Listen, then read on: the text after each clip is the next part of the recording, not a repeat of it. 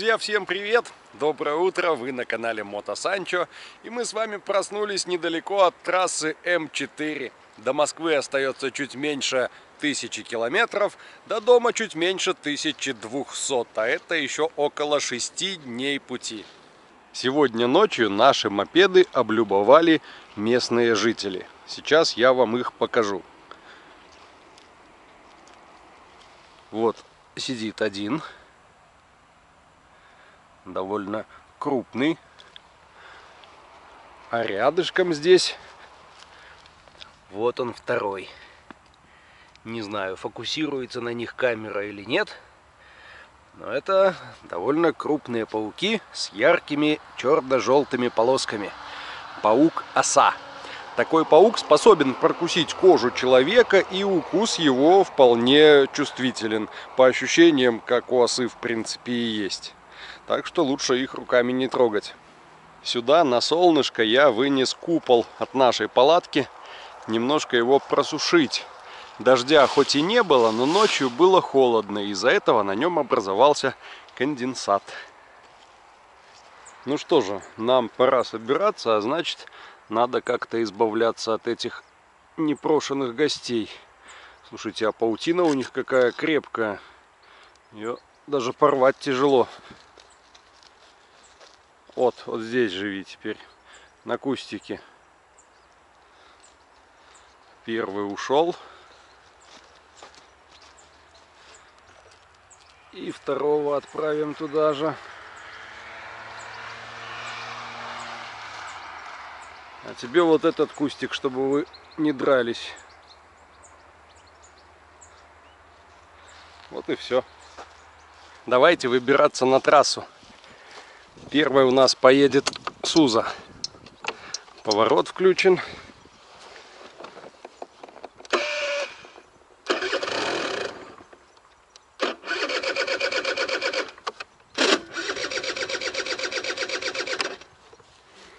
Не хочет запускаться? Попробуем с ноги. Ну вот, другое дело.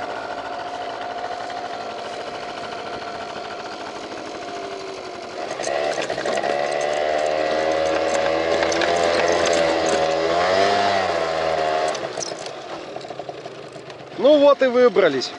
Я сегодня примотал себе спальник на багажник. Хочу использовать его как упор для поясницы. Надеюсь, будет немножко комфортнее. Ну а сейчас отправляемся до первой заправки. Зальем полные баки и заодно позавтракаем.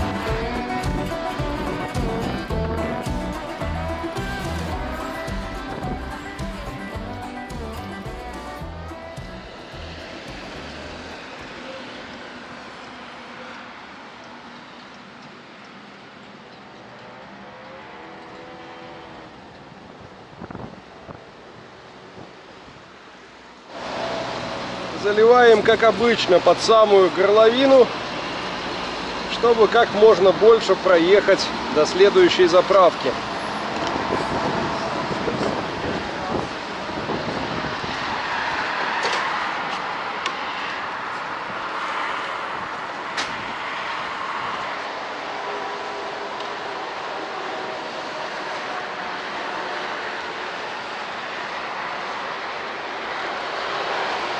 Мусор с места ночевки выбрасываем и отправляемся пить кофе.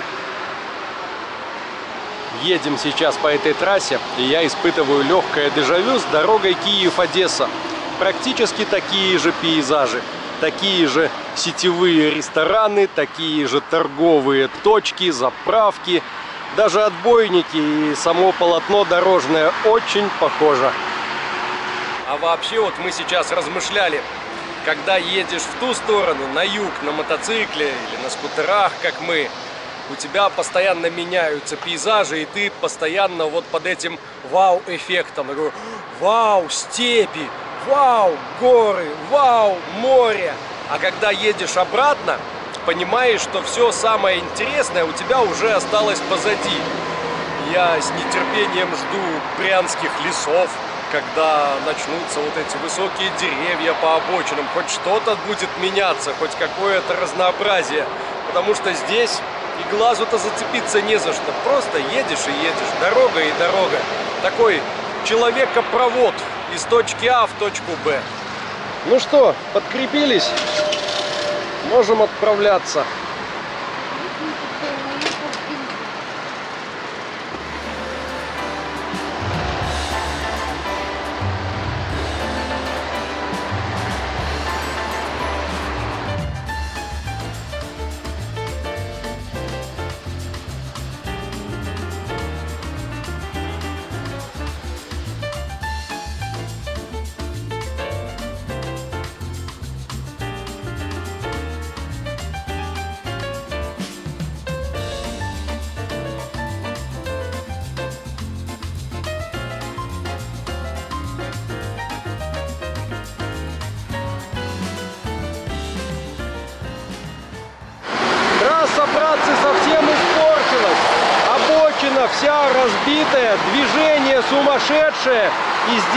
Ехать стало опасно. Поэтому мы будем сейчас искать альтернативную дорогу.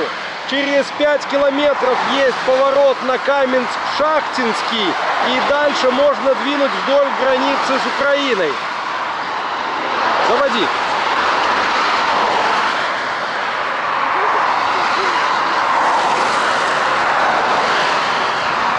Главное сейчас поворота добраться. Если вчера обочина была широкая, хоть боком на скутерах катись, то сегодня ее, считайте, и нет. И даже правая полоса вся в ямах и выбоинах. И учитывая, что по ней постоянно идут фуры, неуютно стало на этой трассе. Поэтому мы, кажется, сейчас будем сворачивать на Донецк.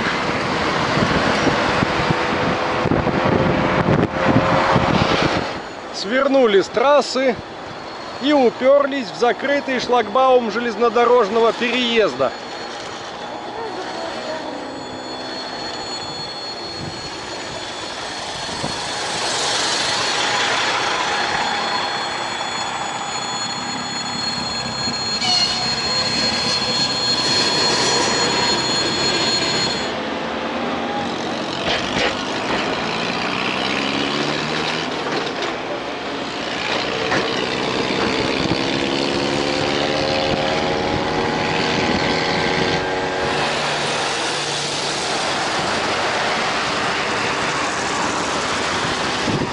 Если здесь ехать прямо, то уедешь в Донецк.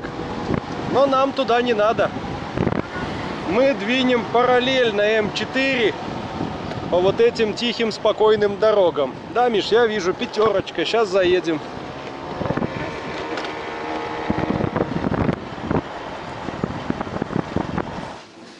В пятерочке сейчас закупимся продуктами к обеду и до обеда можно будет не останавливаться.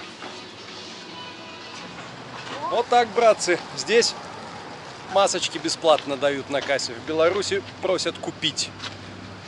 Я сейчас прикинул по картам, мы едем через Каменск-Шахтинский до поселка Глубокий. И там снова попадаем на М4, потому что альтернативная дорога заканчивается. Нам туда. Посмотрим, как там М4 трасса будет. Может быть, там уже подремонтировали.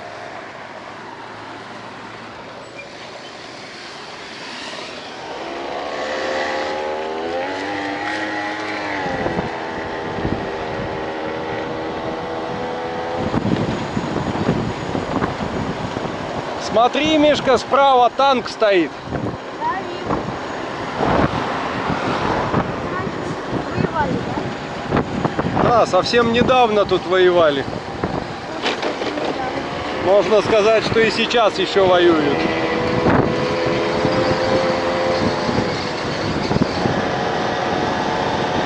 Река Северский Донец. Довольно широкая речка.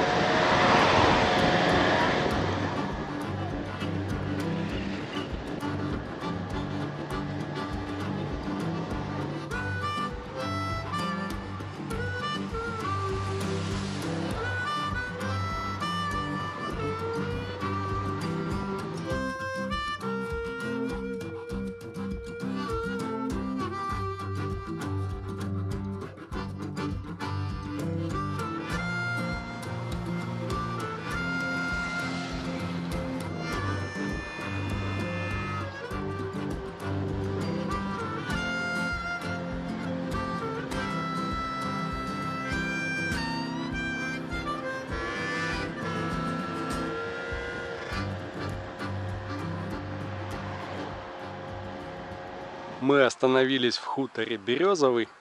Вообще остановились перекусить, но тут Мишке под штанину залезла оса и набомбила ему под коленкой четыре укуса сразу. Покажешь? И как? Мишка героически терпит. Вот с этой стороны будет видно. Вон как покусала. Сразу все волдырями пошло. Прикладываем к укусам таблетку валидола. Валидол снимает воспаление. Ну и здесь уже сразу и перекусим. А на обед у нас ветчина с хлебом, помидорки и персиковый сок. Славно пообедали прямо под местным сельским домом культуры и сельской библиотекой. А сейчас двинем дальше. И даже жалко, что придется возвращаться на М4 с вот этих сельских дорожек. Так уютно и так спокойно здесь едется. Машин мало, движение не напряженное, а асфальт при этом вполне сносный. Готовы? Почти. Осталось только вставить ключ зажигания. Здесь было пара приколов. Мы с Мишкой ехали на спуске, и он случайно коленкой задел ключ зажигания. Он повернулся, и зажигание у нас выключилось. Еду, чувствую, скутер не отзывается на ручку газа. Вроде мотор тарахтит, центробежное сцепление в зацеплении, но реакции на ручку газа нет. Нажимаю на стартер, стартер молчит. Потом уже полез рукой к ключу зажигания, увидел, что выключен.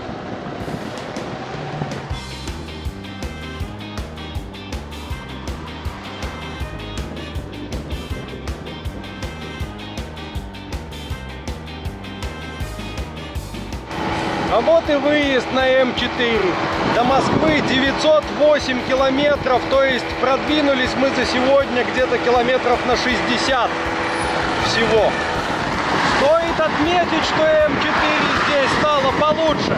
И обочина появилась, и покрытие ровнее.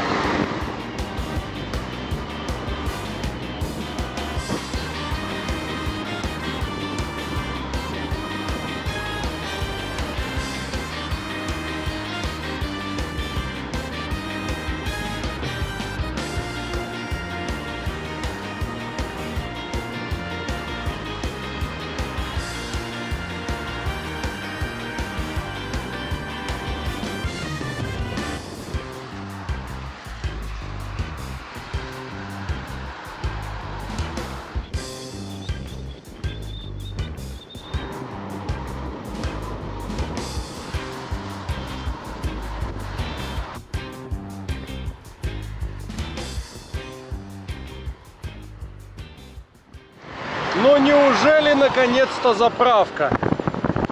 Я думал, до Москвы уже их не будет.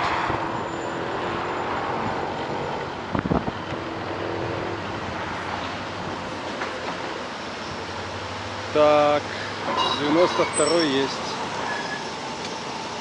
В общем, картина такая. Мы уже проехали 110 километров, если считать по трассе. Если учитывать то, что мы там напетляли по селам и деревням, то получается около 120-125. И если сегодня осилим еще 110 километров, то доберемся до Богучара и сможем свернуть опять же на второстепенные дороги, уйти с М4 и дальше до самого Воронежа по этим дорогам двигаться. По ним ехать гораздо интереснее, хоть и медленнее. Ну а здесь стали на заправке, налили полные баки. Здесь толпами ходят попрошайки. Все попали в тяжелую жизненную ситуацию, автостопом добираются домой, всем нужны деньги. И обратите, друзья, внимание, какой шикарный дом на колесах, какой красавец. Вот это да! Он просто огромен. На таком путешествовать было бы удовольствие. Надо дождаться, когда сын вырастет. Его посадить за руль дома на колесах, а самому впереди ехать на чопере налегке, без багажа и поклажи. И пошел.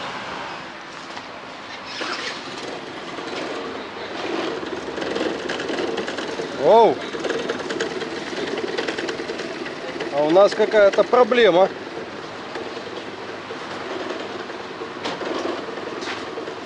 Видишь, слазим. Есть, братцы, у нас проблема. Что-то явно раскрутилось в вариаторе, слышен стук, колесо заедает, а из инструмента у меня только мультитул и отвертка. В отвертке есть насадка торцевая на 8, то есть крышку вариатора я открутить могу, но воздушный фильтр нужны головки на 10, а для того, чтобы открутить рычаг кикстартера, нужен ключ на 12. Я его мультитулом поковырял, но не идет ни в какую. Вот думаю пойти прогуляться до шиномонтажа, спросить у ребят. У дядьки на газели попросил ключик на 10-12. Нашелся у него такой. На 12 сразу откидываем кикстартер. И на 10 вон они два болта. Надеюсь получится подлезть.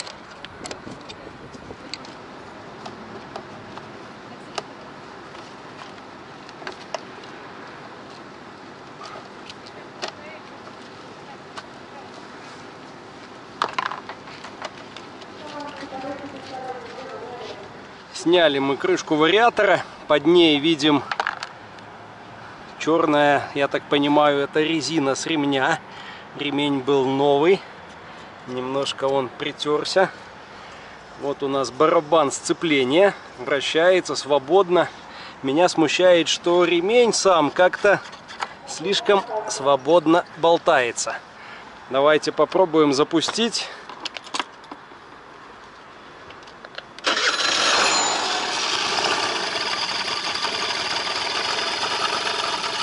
Вот, сейчас вроде ничего и не дергает.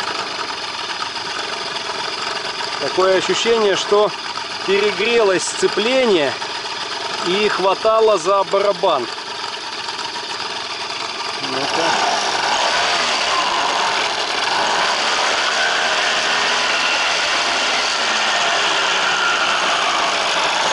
Вариатор отрабатывает, видим, как конуса расходятся.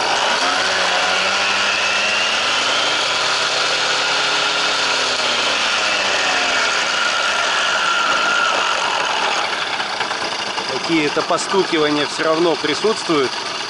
Но люфтов нет. Все нормально.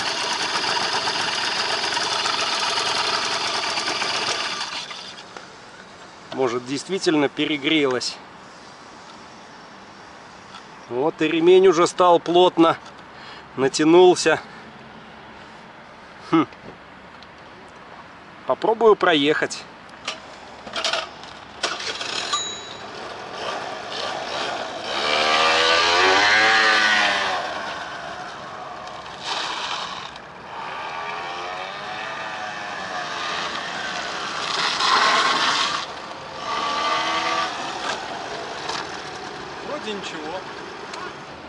Вроде ничего. Пока возился, дядька на газели уехал, поэтому болт кикстартера сейчас зажимаю мультитулом.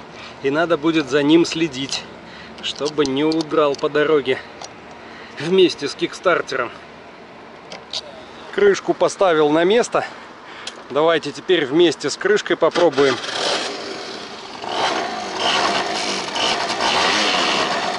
Ну отлично, все работает. Запускай. Ну что же, кажется, теперь мы точно готовы. Непонятно, что это было. Ну, точнее, понятно, перегрелось сцепление, расширилось от нагрева и начало закусывать. Но... Так, а как мы выедем? Ну-ка, Миш, поднимай эту ленточку. А так. И маму нашу выпускаем. Так вот, расширилось сцепление, начало закусывать. Но почему оно так нагрелось? Сегодня, конечно, жарко, и тут подъемов много. Но не больше, чем было на пути от Адлера до Туапсе, например. Хотя там мы тоже останавливались и давали вариатору остыть. Ладно, в следующий раз, прежде чем раскручивать, надо будет подождать. Ему какое-то время, чтобы остыл, и потом уже пробовать. Так, я немножко тормознул на сложном участке дороги, пытаюсь тронуться, а все. Даю газу, появляется вибрация, а трогание не происходит. А тут еще фуры такие мимо летят. Вариатор не отрабатывает. Так. Неудобное очень место.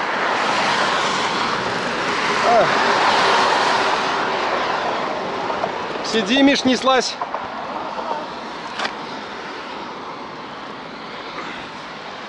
Колесо зафиксировалось. А слезь-ка на ту сторону. Не-не-не, на ту, на ту, на ту. Подальше от машин.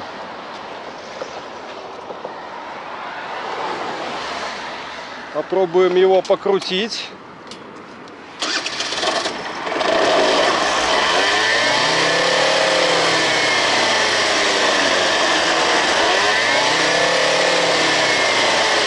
Очень странный звук.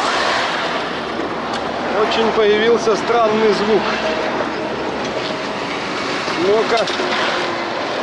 Нет, не тянет. Миш, Миш, Миш, садись, отъедем немножко, попытаемся. До тенька хотя бы. Что ж это такое-то, а?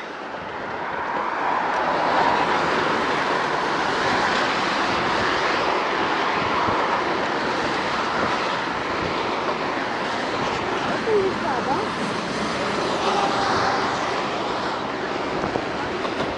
Это дорога, это лиса? Да.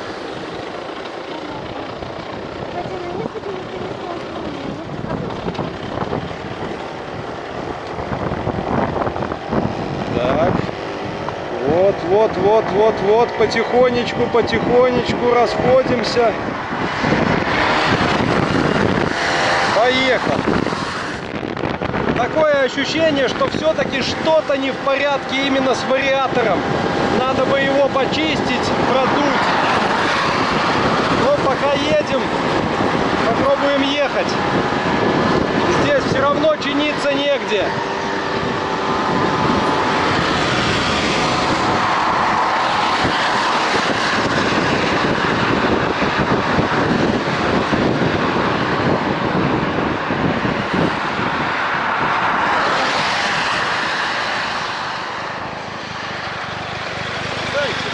Здорово.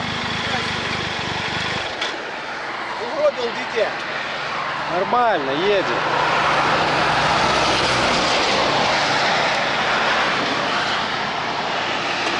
Мы тебе смотрели, ты поехал. А, вон он, вон ты поехал. А мы поехали с ним. Ну, в горы. Смотрим, ну, Татьяна, здравствуй. Вот вот тоже Татьяна. Смотрим тебя давно. Приятно. Мы Воронеж. Да куда хочешь на них скакать? До Богучара хотя бы. Богучара? Да. А там Ну, уйдем. видели, что тебя встретили. Устал? А, не совсем. Устал, я знаю. Молодцы. Я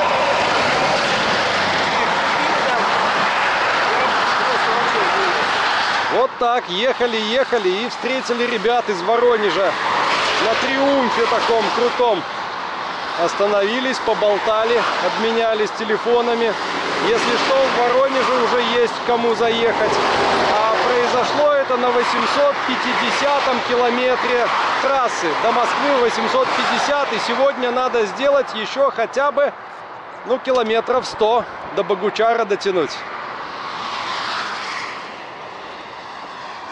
Конечно, мотик классный, получше, чем наши табуретки.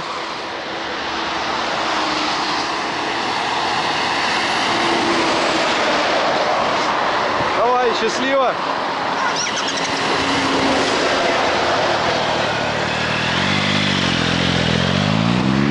Поехали! Сегодня уже дома буду.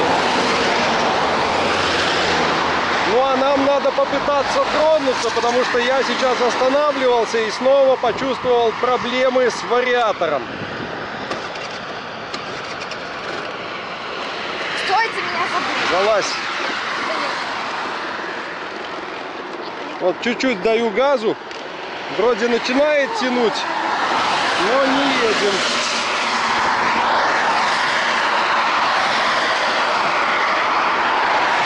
А если распихать ногами, и по чуть-чуть, по чуть-чуть, по чуть-чуть. Давай, давай, давай, давай, давай.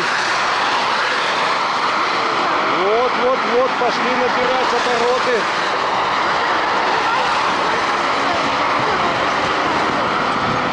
Очень странные симптомы.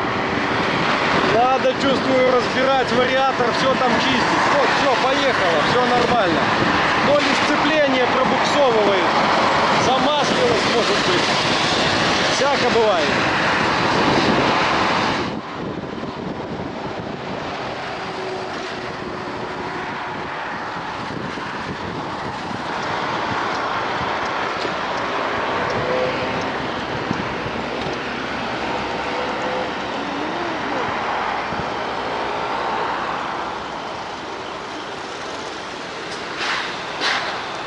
Еще 50 километров мы проехали. Ехали долго, и у меня было время подумать над нашей проблемой. У меня было время поспать. В общем, сцепление тут совершенно ни при чем. Я даже не знаю, почему я решил, что это сцепление. Дорогая, дай ко мне ручку подходящей расцветки и бумажку. Как у нас в принципе устроен вариатор? Есть два шкива, которые образованы коническими дисками. Один соединен с коленвалом и получается с поршнем. А второй похожий шкив соединен с задним колесом нашего скутера. Вот оно будет. Передний управляется центробежными грузиками, которые, расходясь за счет центробежных сил, сжимают и разводят конуса. Как только конуса у нас сходятся, ремень работает где-то здесь, по внешнему кругу. Когда расходятся, он смещается внутрь и работает по малому кругу. Таким образом, мы имеем либо вот такую схему, которая должна быть у нас при трогании, либо вот такую схему, которая должна быть на скорости уже при движении. Если где-то вот этот механизм заедает или закусывает, этого происходить не будет. И вот, допустим, ехал, ехал я по трассе, у нас вот такое положение шкивов. Останавливаюсь, разъединяется центробежное сцепление, и ремень остается в этом положении вместе со шкивами. А потом пытаюсь трогаться. Естественно, обороты коленвала низкие, мощность низкая, а мопед пытается ехать, но не может вытянуть. Вот и едем так, тыр-тыр-тыр, и никуда не двигаемся. Постепенно, постепенно вроде как разгоняется, выходит в рабочее положение, либо там что-то расшевеливается. Я думаю, стоит снова снять крышку и все там внутри продуть. Вполне возможно, торг-драйвер, то есть вот эту пружину забило пылью от ремня. И из-за этого какое-то есть заедание. Мысли такие, я попытался их выразить на бумаге, ну а сейчас поедем дальше. Ну а пока, как видите, наш вариатор работает. Периодически что-то у него там подглючивает. Но едем. Едем. А раз едем, значит лезть пока не стоит. Стартуем дальше на трассу. Впереди у нас Богучар. И созванивались мы сегодня с нашим другом Олегом, который предлагает переночевать у него в Павловске. Вот только до Павловска отсюда 135 километров. В принципе, конечно, можно дотянуть, но мы будем там поздно, уставшие и замученные. Посмотрим, не будем загадывать. Давайте еще километров 50, остановочку и подумаем.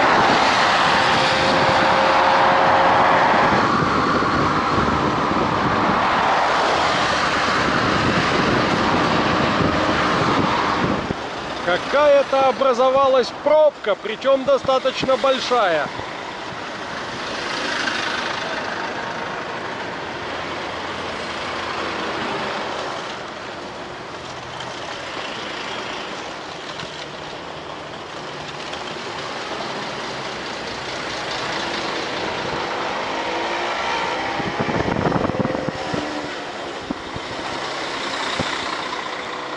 Вот нам сейчас только с моим чудо-вариатором в пробке не хватало постоять.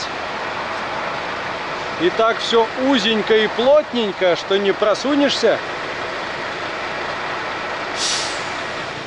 В общем, у нас тут фигурное вождение. На моем мопеде ширина ограничена зеркалами, а на Танюшкиной Ямахе баулом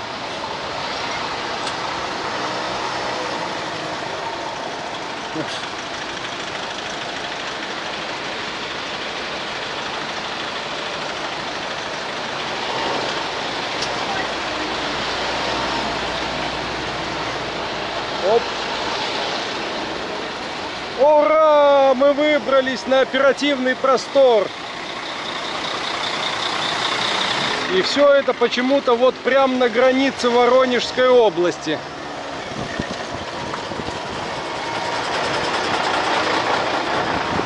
Но здесь вроде как уже отбойника нет.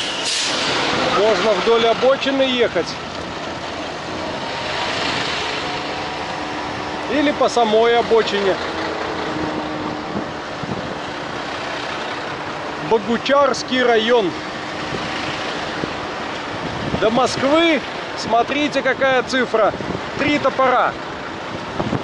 777.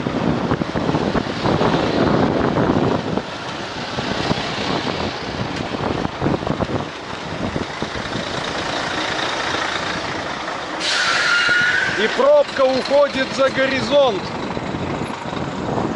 Это надолго.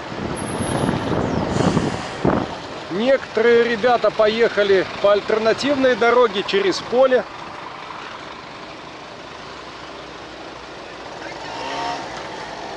Ну а мы крадемся вдоль обочины.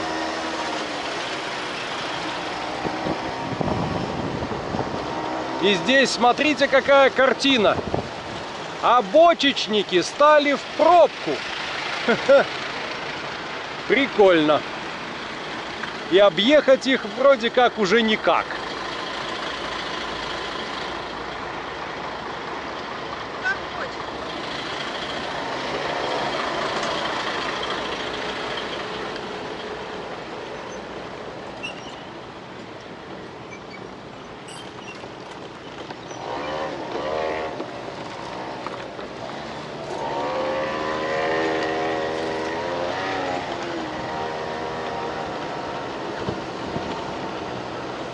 Фу, какая пылюка.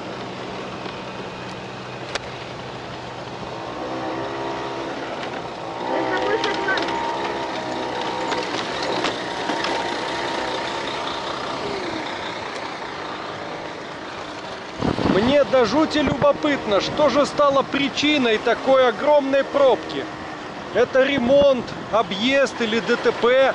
И вот мы, кажется, к чему-то подъезжаем. Тут сужение дороги, вот какой-то кирпич нарисован. Может мост на ремонте или еще что-то вроде этого.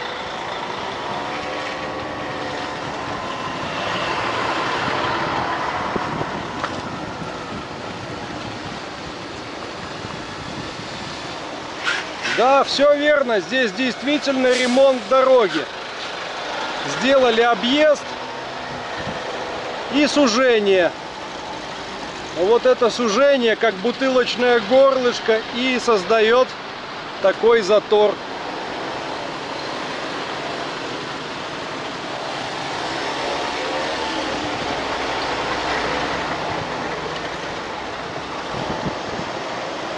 Дальнобои сейчас пытаются уйти в левый ряд, видимо, видят что-то, чего не видим мы. А мы едем пока за ними. Здесь какая-то примыкающая дорога. Что происходит вообще?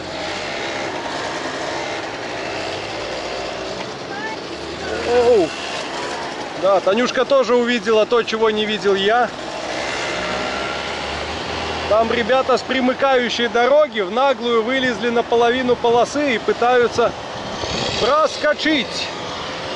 Но у нас не проскочишь.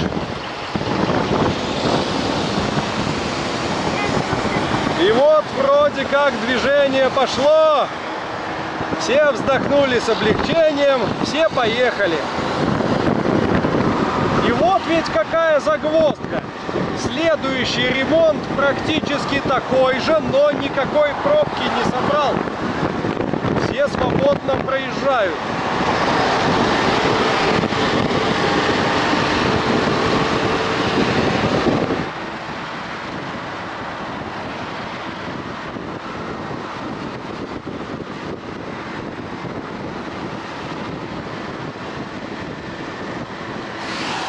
И вот те же самые качели.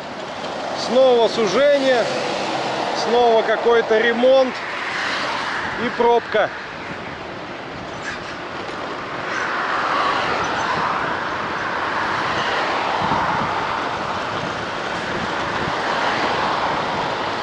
Опять завыпендривался вариатор. Тяга пропала, сзади подпирает фура. Справа отбойник, уходить некуда. Толкаю мопед ногами.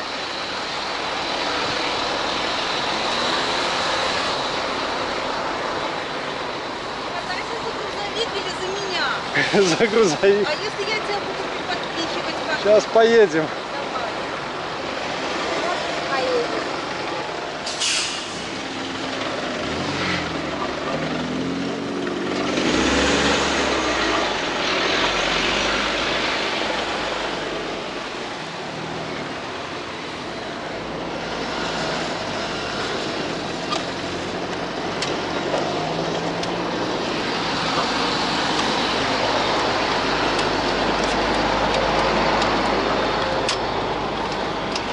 Я пытаюсь провернуть передний шкив, чтобы ремень разошелся. Фух.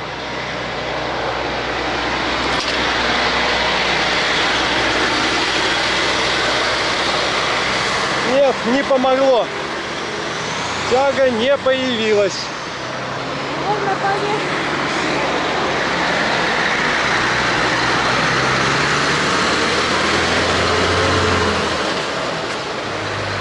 это да! Вот это мы заехали. Танюшка попробует выехать с Мишей туда, где кончится этот отбойник. А я туда буду толкать руками. Потому что других вариантов просто нету.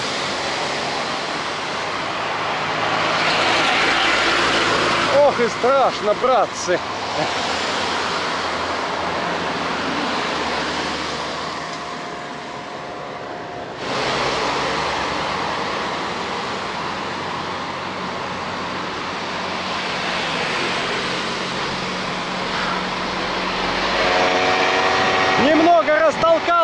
Ногами, запустил, дал газу и все поехало. Но успел уже умахаться. Это, братцы, не дело. Это не езда.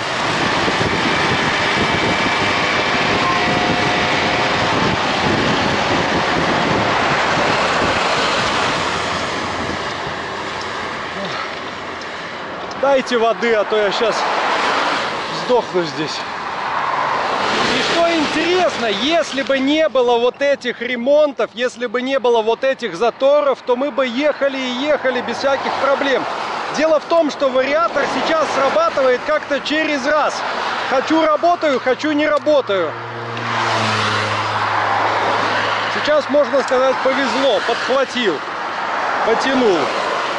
А вообще, конечно, надо добраться до какого-нибудь спокойного места, уделить ему время и его тщательно пересыпать. Вот, вот сейчас тяги нету, не тянет, газу даю, а он на низких оборотах еле-еле-еле-еле что-то там, как будто сцепление проскальзывает.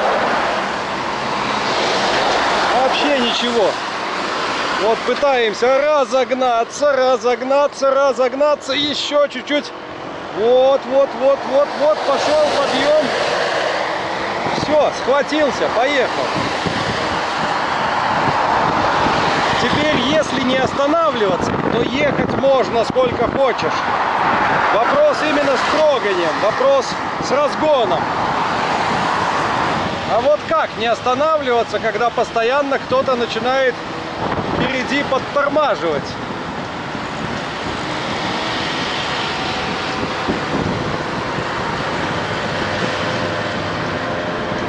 Хотя, кто бы говорил, только что сам застопорил целую полосу.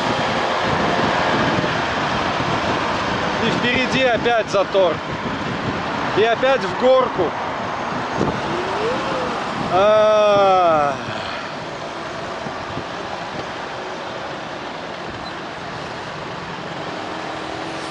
Ну вот, минимально возможная моя скорость. Все, сейчас вариатор снова откажет.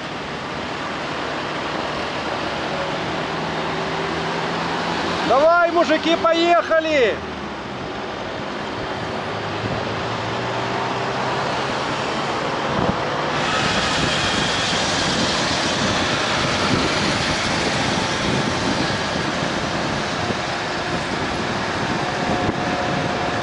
До захода солнца остался один час.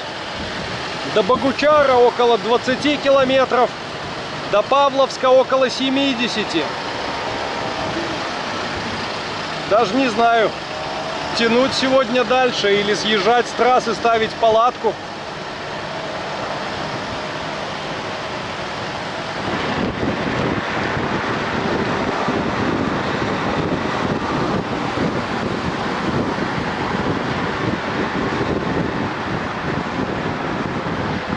Красивый закат.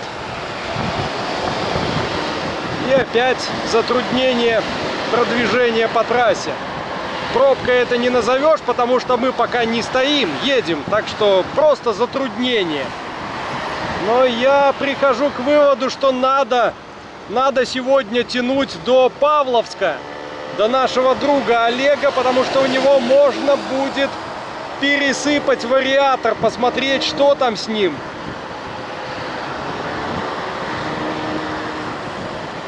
В комментах вы писали, что Мишка от такой дороги будет уставать, и у него не останется силы и энергии. Вот, мы остановились просто на обочине размяться, и он уже полез на гору щебня. Гора, кстати, довольно высокая, здесь метров 7. Взрослеет пацан не по дням, а по часам. Угу! Круто! Танюшку даже уговаривать не пришлось. Сказал ей, что у Олега в Павловске будет душ и кровать. И мы уже едем. Нам остается 80 километров. И снова вклиниваемся мы в этот затор. Ну и поехали. 80 километров до Павловска. Поворот на Богучар. Сюда мы целились с самого утра, но обстоятельства так сложились, что едем дальше.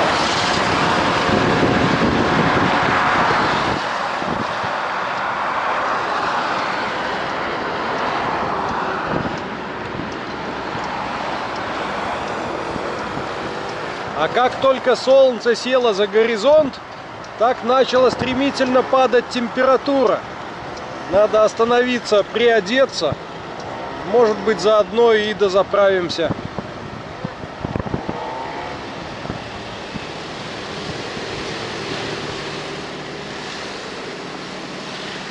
Мы не только приоделись и заправились, мы еще и упаковались в салатовые жилеты, потому что ехать будем ночью и желательно на дороге выделяться. Безопасность должна быть безопасной.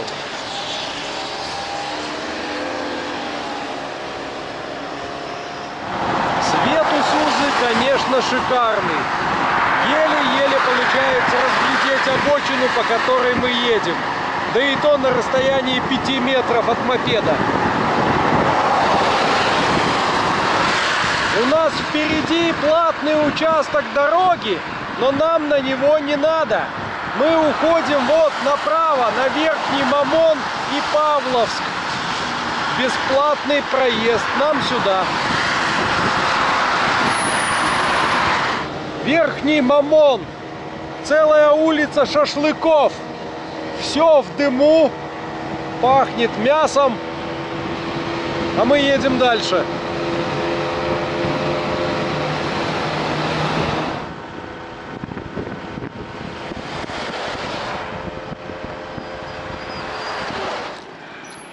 Мы все-таки это сделали. А мы до вас доехали. Ой, я разогнуться не могу. 300 километров, 120 Приехали. минут, а вы едете уже 30. А до Ну. Полоцка еще нет. Ты бы знал, как это страшно. Привет. Да, как пролетают мимо эти фуры.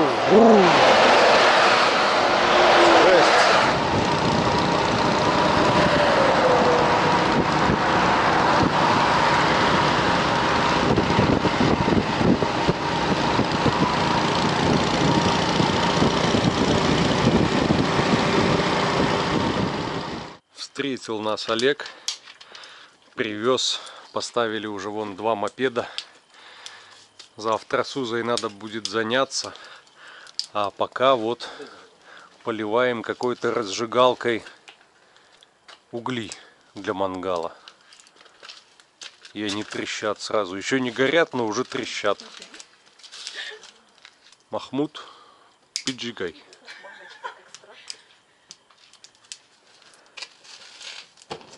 Ух. На спирту явно. Такое пламя синее. Ехалось сегодня достаточно тяжело, и мы твердо для себя решили, несколько раз даже в нецензурных выражениях, что ночью на мопедах больше на трассу не полезем. Уж очень страшно, когда мимо тебя проносятся вот эти огромные грохочущие фуры на сумасшедшей скорости, а ты такой маленький, такой так на чем-то мы, братцы, остановились? На том, что мы решили ночью все-таки на мопедах по трассе не ездить. Это слишком опасно и слишком неуютно. Хотя сегодня, благодаря этому, мы смогли сделать рекордный пробег в 314 километров и добраться все-таки до Павловска, где нас встречал Олег. Хотя, если бы Олег нас не встречал, мы бы стали давным-давно уже где-нибудь в палатке, где-нибудь на обочине и сделали бы намного меньше. И благодаря тому, что мы все-таки доехали, мы сегодня вот ужинаем. Мы сегодня постирались. Мы сегодня помоемся и будем спать в кровати. Представляете, в самой настоящей кровати, на постельном белье. М-м, красота. На этом, пожалуй, на сегодня закончим. Всем спасибо, всем счастливо и всем пока.